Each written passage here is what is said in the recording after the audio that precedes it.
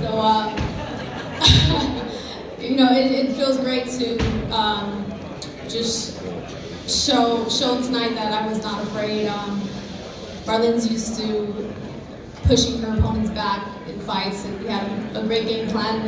I pushed her back most of the fight. Uh, then she tried to box me when she was hurt, and I still got inside. And um, I showed that I can fight different ways. And um, yeah, in the ninth round, I heard her say that uh, she can't see.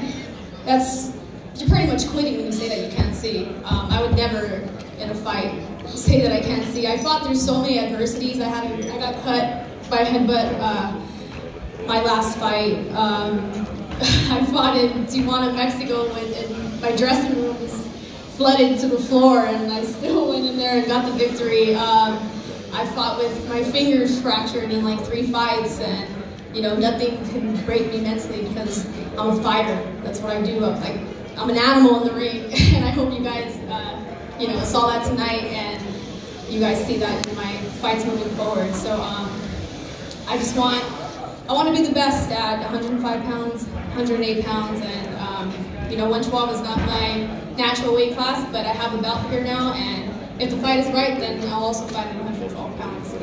Um, so just thank you guys so much for all the support. Thank you, Boulder Promotions, and um, looking forward to moving forward and getting some more belts. So let's do it. Thank you.